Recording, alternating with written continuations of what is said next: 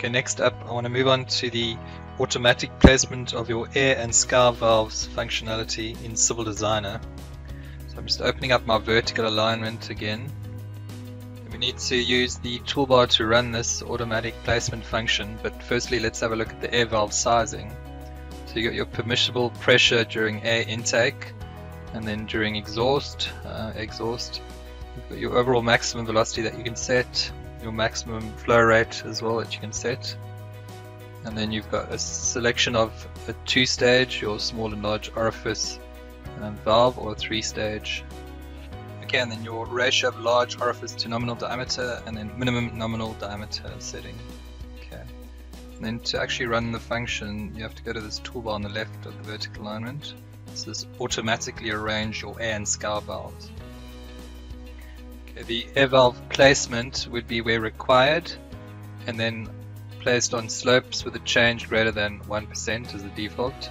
And then the maximum distance between your uh, air valves is set to 500 so if I click OK now and run the function then you'll see those air valves and scour valves have been positioned according to the design criteria.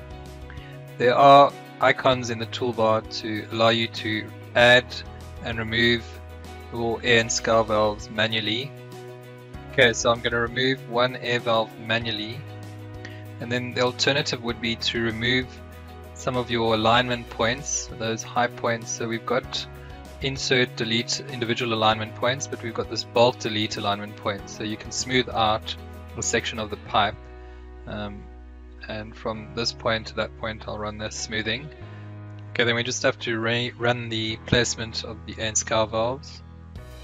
So just rerun the function and you'll see that that air valve has been removed in that smooth section. Okay, so I'm just going to save and close the vertical alignment.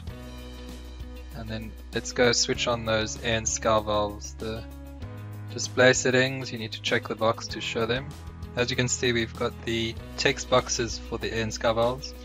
Okay, what I'm noticing is there's an overlap between my pipe route chainage text. So there is a function to graphically adjust your air valve symbols and text position. So you select it and there is a default button to rotate through 180.